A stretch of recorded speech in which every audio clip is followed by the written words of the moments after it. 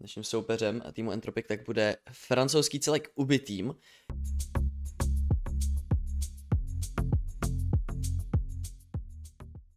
Nám uh, tady začíná první pistol round, který se už uh, otevřel fragem na Honese a Entropic tím pádem ve čtyřech. Budou chtít rychle pušovat právě přes short. Jak Malikov, tak Ninis tady teďka koukají na ten Xbox, nikoho tam nevidí. Jenom se vyčkává mezi tím, ale Entropic vůbec na nic čeká, ale rovnou se tam hrnou právě. A rovnou výskok na to CT, Lekr, který tam vyskočil dolů a zabíjí tady SP na No, zajímavý nick, na který se budeme ještě muset naučit průběhu tady tohoto dne. Morisko nakonec bude plantit na short, tam Entropic směřují hned ve třech a tohle je velice silná postplant situace, kterou si tady tímhletím dokázali zajistit. Teďka bude důležitý fight právě na tom shortu, jestli to tady Redemini s jeho kolegou budou schopni nějakým způsobem vystřílet, zatím to vypadá velice dobře, je tady ještě Ait, který by tomu mohl vystavit stopku, ale to se nedaří. Morisko teďka zůstává poslední v tom sajtu, potřebuje najít jedna v jedničky a relativně dobře tady tapuje, dokonce ještě Dink který tam posílá na Redimanyho, tady mu stačí jenom dobré hity, ten defuse tam není, stále držený, takže Moriskovo je nucený to píkovat a snažit se pušnout to dopředu, Redimany celou dobu uh, baitil na svého spoluhráče a nakonec ubitým budou mít dostatek času na to, aby tady defuznuli tu bombu. Jednoduchá taktika zvolená cez ten short, to, toto je také ťažká, ťaž, ťažká riešiteľná situácia, že vlastne či ísť na short, či sa hrať viacej kolov sajtu, alebo ako to robiť. A no, ubitým jednoducho retakeli jej milý short a vlastne nič viac sa tam už potom nedalo robiť, ešte Morisko tam mohol niečo skúsiť s tej šikmi pobojovať, ale viac tam nárok na to nemal, keďže hneď na začiatku kola nám ho nezomrel na langu, tak od začiatku to, od začiatku to kolo bolo spíš pre ubitým. Tam bylo skvělé rozhodnutí podle mě, že ubitým šli ve třech ze shortu a nikoho, nikoho neposlali přes CT. Ja si práve myslím, že keby ešte išli cez CT, takže by to bolo výrazne ľahšie, keďže traja hráči budú až na shorte. Jo, OK. Se beru tak, že vy, vyfajtili ten short Morisko, ale teď parádně. Krásný crosshair placement a jenom pár výstřelů, který našli krásně ten cíl. No a právě teď tam budou chtít ten tropik pušovat. Hones, který tam běží dopředu. To tam je další hráči, Hones, ale získává ten frak, teďka postará eh, teďka se postará i právě o ten bombplant. No no, tady ještě schytá nepříjemný tak, nakonec, tady za to Kapsen zaplatí životem, ale pořád je to 3 versus 4, ve které obě tým už budou chtít saveovat. Jeden open, druhý open, Bčko padnutý a jakmile vám padne Bčko na dvojce, tak není co řešit. Je vymalováno ubytým, kteří můžou jen a pouze saveovat ty tři Famasy a Entropic, kteří tady překvapili i lepším bájem v podstatě, protože tady to byly snad tři AKčka. Hned. No to je ta, to je ta aktuálna meta, bohužiaľ. Teda bohužiaľ. Teraz momentálne našťastie pre nás vlastne. Uh, Morisko tam hneď z začiatku otvoril cez smoke. To je niečo, čo ako asi občas naštve mohl není zeď. No ale o to nebezpečnější bude teprve tady tohleto kolo. Mají ubitým zase k dispozici plný nákup, spoustu, spoustu granátů, je tam dokonce AVPčko u Ninise a tenhle ten rozběh by se mohl stát ten tropiku osudným, protože pokud by tady Malikov pustil dobrý spray, tak to mohl být hnedka multikill, nakonec tam padá pouze jeden jediný. Honest, který vyflašovaný, získává ten frak, kapsen se k němu ještě připojí, je to 3 na 3 a Entropic mají pod kontrolou celý Bčkový site, okamžitě tam samozřejmě leží i ten smoke, což je neuvěřitelně důležitá součást, když chcete jít na ten batchový site, abych nikdy nekrosoval, pokud bych tam neměl ten smoke. No a teď už klasicky, házení granáty, ještě je tam Ait, který bude uh, házet další molotov do okna v moment, kdy tam ten jeden dohoří. Přesně tak. Když zase ubere trošičku toho času a ten už tady, to už tady není opravdu na zbyt, takže oby tým budou muset využít veškerých možností, aby se dostali zpátky do toho sajtu a tohle to nevidím. Tady musí zase jít pryč. A opět rozumný rozhodnutí z jejich strany, že půjdou saveovat, Redimany si tady možná ještě na někoho počká uh, v tom tunelu, kdo tady přijde, ale měl by to být nejhorším refrakt, prostě, který tam skočil do crosshairu, nakonec si Redimany bude asi schopný utéct.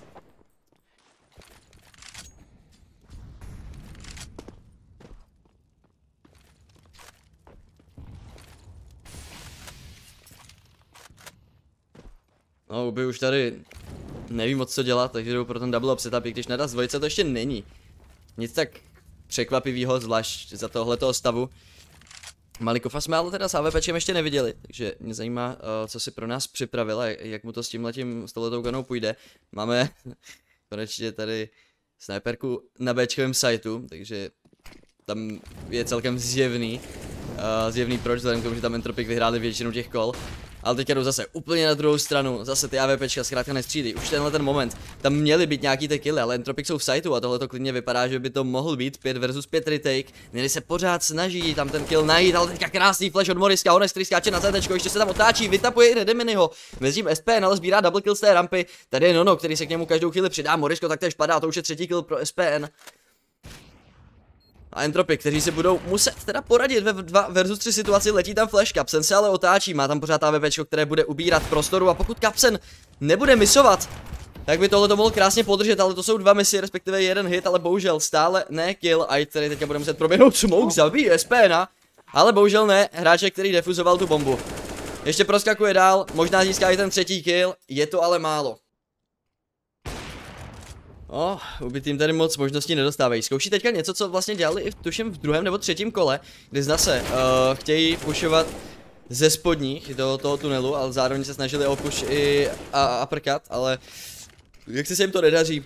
Jak teďka měli jenom ty pistole a Entropic jsou na všechno připravení, Nis ještě zkoušel YOLO play, hodil si flash, vyběhl přes smoke v dveřích, ale to si věřil trošičku moc proti třem kalachům, aby se tady někdo neotočil tomu flashi. A otočili se vlastně úplně všichni, Kapsen ještě na té spawnu. A ako hovorím, AVP na longu proti tomuto neurobí nič. Naj, najlepší sa dá proti tomuto je hrať AVP na Shikmej a ešte jedného hráča mať na Kúsovi nejak schovaného, ale odhadnúť, kedy túto taktiku pôjdu a ešte zvlášť keď sú vlastne 4 v 4 situácii, to je obrovský risk.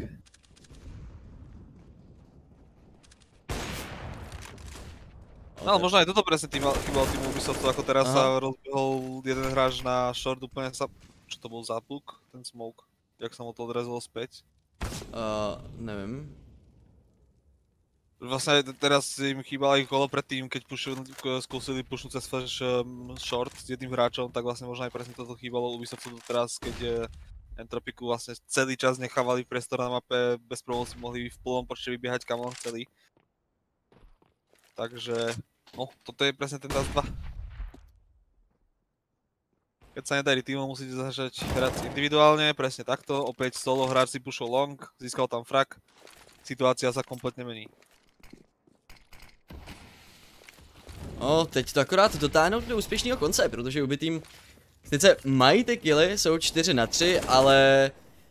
OK, tady to funguje. Rediminy tady zachraňuje svého spoluhráče. Tohle to byl velice důležitý frak, kdyby tam tenhle ten hráč nebyl, tak už je to zase vyrovnaný a zároveň Entropik má dobitej v podstatě celý long. Teďka to ale celé zůstává na Aitovi společně s Kapserem, kteří tam jsou v tom sajtu. Vyměnili si tam legshoty, Ait skočí ale dolů na CT a tohle to je line up pro něj. Tři killy, Kapser, jedna versus dva, musí tady najít jedna ve jedničky, snažil se si dojít pro ten frak a popravdě si myslím, že to ani nebylo daleko, ale znovu je to Redemany, který uh, už po druhé tak má čtyři killy. Obě tým vyhráli No začíná nám ale ta druhá polovina, kde je Entropy, která sází právě na uh, jednoho hráče, který ho poslali do těch spodních kapsen tam tentokrát, ale nic moc nevymyslel, byli tam na něj dva.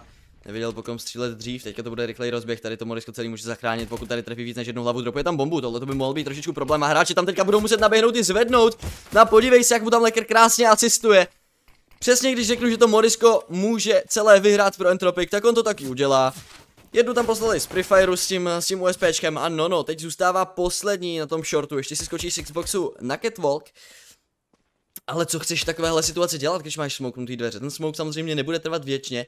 Je tady Lekr, který tam má pak ještě dva flashe, který, řekněme si na rovinu, takhle na tom midu, teďka asi nic neudělají, když je tam Lekr takhle na close, ale stejně. Tohle to je otázka času, kdy tam Nono píkne do crosshairu přímo v těch dveřích a neudělá absolutně nic. Teďka si dokážu představit trošičku agresivnější hru od Entropiku. To by měla být vzhledem na ten nákup. Přesně Myslím, tak. že to je hráči, kteří tu na Bčku jdou vlastně gaugy. No, něco Ale tak... agresivita tam samozřejmě je. Něco takového jsem myslel, ono... Za prvý je to ten stav, který vás, vás už trošičku nutí běhat a chtít e, zabíjet, i když by to tak asi úplně být nemělo podle toho učebnicového Counter Strikeu. Ale eh, především ty MP9, s tím prostě proti full buy nechceš hrát úplně long range, takže si vyběhnout a něco zkusit. No, momentálně to byl určitě ten nákup, který nás, který Entropik vědol do toho, aby to pušovali, ale neviem, či práve bola práve, či bola práve najlepšia voľba, aby presne dva augy išli na bečko a dva augy to pušovali ktoré sú určite silnejšie na long range a MP9, ktorými sa dá luxusne behať, tak uh, vlastne presne tie mohli ten, uh, tie katy. Oj, oj, oj, oj, oj, oj, oj, tohle to bylo zaváhání ze strany Ninise, ktoré tady mohlo ešte hodne ubytým mrzet, že nehitovalo hned, hned ty první střely, protože tam ty hráči zůstali extrémně dlouho naživu. A Entropik možná ještě i tak půjdu do Eka, tak ne? Lebo predsa len Honest tam má 3600, tak uh, na úplne full utility to nie je ani aj tam nemá granáty. To myslím si, že ešte jedno kolo si len mohli dať nejaké to eko a mať tam radšej plné ves, uh, úplne plný nákup, plné granáty a rovnako tak aj AVP. Dobrý molotov, zrovna když tam ubitým chtěli běžet, teďka je ale, ale, ale v open fieldu a tady jsou hned tři hráči. Kdyby tohleto Redmany píknul, tak uh, to mohla Tak být asi- katastrofa, ale nic by neudělal, protože máme jak desítku. Jsem si to všiml. Opäť škoda, že najle- hráč, ktorý má najlepší spawn, tak nedostane lepšiu zbraň od svojho týmu. No to je, to sú presne také tie veci, ktoré jednoducho treba využívať. Má hráč spawn, chce ísť dokonca urobiť, ešte majú na to aj pripravenú taktiku, že má naflešované tak, aby bežal do pitu a tomu mu nie sú schopní prehodiť lepšiu zbraň. Možná kdyby původní záměr byl jako, že se poběží rovnou do toho sajtu, když vyběhnou čtyři z Longdoru, tak by byl jako první, první na ráně, vyběžel, vyběžel, že jo?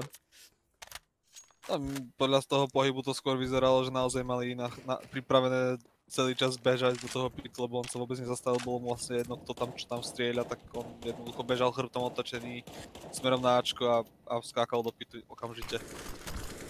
No teď to byl ale především Lecker, který tam udělal play na shortu, zkrátka dvakrát podržel úhel, dvakrát jenom stisknul spoušť. Ten správný moment, tady ještě Malikov, který vytlačuje kapcena, ale bez problému vypuštěný spray na správné místo ve správný moment, zabezpečí 14. bod. Tak aj od Ubity mu tam nie je práve úplne, povedal by som, že aký najväčší komfort a nehrajú práve najlepšiu hru. Takže a, a, aj to tak vyzerá. Príde mi, že už tie veci vlastne aj napriek tomu, že OK, je to, je to proste už obrovský náskok, ale tak tie veci povedal by som, že dosť odflakávajú.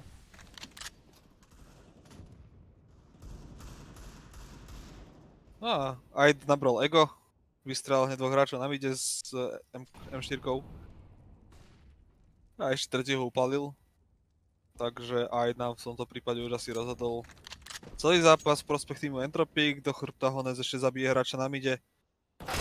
A už som si myslel, že pôjde nožikovať teda. Asi to teda aj Honec mal v pláne. A poslední Malikov, jenom teda s Deaglem, s jedním nábojem, One Bullet Dream. Předbít by, přebít by si samozřejmě mohl, ale to je zbytečný, protože jeden náboj stačí, že jo? Tak ten došel hra na highlighty, no. A jako... Mm, Tohle to by asi stálo za pohled lekra. Kdyby to bylo jiný skore, tak by si možná trošičku třískl do stolu. Ja si myslím, že on si, on si možno treskl aj teraz. Ale tady to je jenom otázka času a moje predikce, kterou jsem teda říkal, že si myslím, že to bude hodně rychlej zápas, tak se nakonec vyplní a Kapsen tohle to celé podepíše 16 a už si to zase nepamatuju, 16.5. Tady dokonce Čau. máme Aita na Discordu. Ahoj ITku, čau. Ahoj, ahoj, ahoj. Uh, Ahoj. jak se vám hrálo? Uh, budete teďka mít ještě nějaký oficiál uh, po warmapu? No, teďka, dneska už ne. Asi nějaký feedback dáme a Tak, skončíme. tak na co jste se teda rozehrávali? Tak na tuhle hru ne přece. Počkej, to, tohle nebyla teda ta rozehra, tohle už byla ta hra, jo? tak možná to vypadalo jako warm-up, no ale docela to šlo v pohodě. Tam Mm. my jsme se hodně fokusovali na to Bčko, protože ho nevěděli vůbec krejt, takže jsme prostě jednoduše zakončovali kola na Bčku a nějak jsme to neřešili.